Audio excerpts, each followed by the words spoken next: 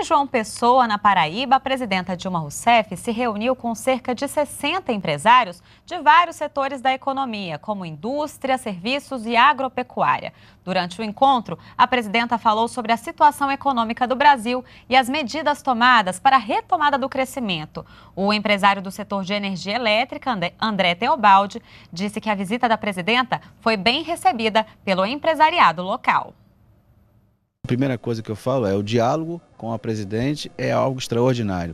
Segundo, sem filtro. E é onde a gente pode colocar, de fato, é, os nossos anseios, né? ou até algumas sugestões para poder melhorar principalmente o setor de infraestrutura aqui do, do Estado, é, é, relativamente à energia elétrica, como também de uma forma geral.